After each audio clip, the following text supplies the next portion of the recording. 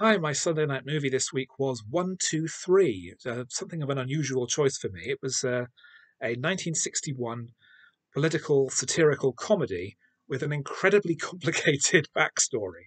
Um, it's based on a Hungarian play. It was adapted by Billy Wilder and his regular co writer, I.A.L. Diamond, directed by Wilder as a follow up to his two very sophisticated urbane comedies, Some Like It Hot and The Apartment, both of them masterpieces. So with this, you wanted to lean more towards a European farce. Our main character is the head of Coca Cola's operations in West Berlin in 1961. The film states very specifically this is pre war Berlin. Um, he's expecting a promotion any day soon to uh, head of operations in Europe with a, a uh, new uh, office in London where his family can settle down. But his boss tells him that he has to babysit the boss's daughter, a tearaway who's got herself into all kinds of trouble, and he has to make sure that she stays put, and if so, then the promotion will be his. So she gets taken in, she has a nice time, and all, all seems to be going fine until it turns out that every night she's been slipping over the border into East Berlin and has been courting a, a communist revolutionary, played by German actor Horst Buchholz. And now they're married, and our main character has to try and get around this problem of the boss's son in law being a communist before he arrives in town and jeopardizes our main character's career. And as you can tell, I can't remember the main character's name. The main character is, however, played by James Cagney. Uh, this was Cagney's last film before he retired, his second to last film because he did a, another film 20 years later, Ragtime. The film was apparently an absolutely miserable experience for him and for the production in general. Uh, shooting in Berlin was interrupted by the construction of the Berlin Wall, which meant the production had to decamp to Munich. Um, Buchholz did not get on with Cagney at all. Cagney hated him. Um, it was a difficult, troubled production. So it doesn't really surprise me that it's actually quite enjoyable. That kind of tension behind the scenes lends itself very well to uh, creativity. So in, in the latter half of the movie, where uh, the the boss is on his way. Cagney has to frantically groom the reluctant and extremely loud and obstreperous communist into being a potential son-in-law to a big business.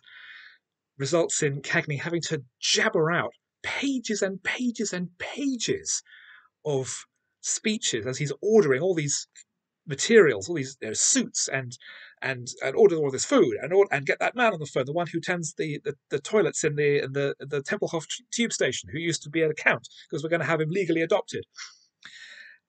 I can imagine this working on stage brilliantly, and there being a huge round of applause at the end of that scene of Cagney's character having to just reel off three or four pages of text at top speed. It's an extraordinary scene and much of the film works because it's it has that tension, it has that pace. There's a car chase because there's also uh, Russian bureaucrats who are interested in in uh, having Coca-Cola distributed into the Soviet Union, which Cagney thinks will be the, the crowning achievement of his career, and they wind up trying to bribe them with Cagney's secretary. And then there's there's cross dressing because his assistant has to pretend to be his secretary, and his assistant is a, a thin, wiry man who may or may not have been in the SS, which comes back later in the movie.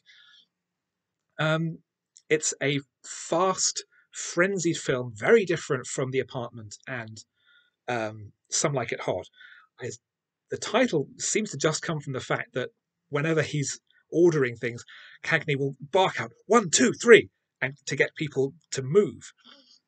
Um, there, there's gags all the way through about the German character where the people in the outer office will always leap to attention whenever Cagney walks in the room and he has to tell them to sit down because they're so used to being drilled. Um, and he even tells off his assistant for clicking his heels all the time. Some of it felt a bit mean spirited, but it's it's humorous enough, and the German characters are portrayed as characters in their own right and not just as a bundle of stereotypes for it to work. Even the Russians are portrayed not unsympathetically.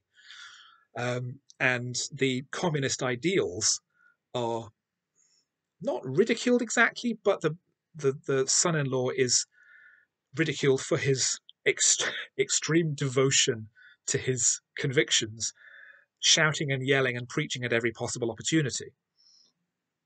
Um, I enjoyed the film quite a bit. Uh, it seems to turn up on Great Movies Classic every so often. James Cagney was very enjoyable. Buchholz is genuinely pretty funny as an angry communist. I would recommend it. It was a bit of a surprise, but yes, one, two, three, five out of five, but it's very good.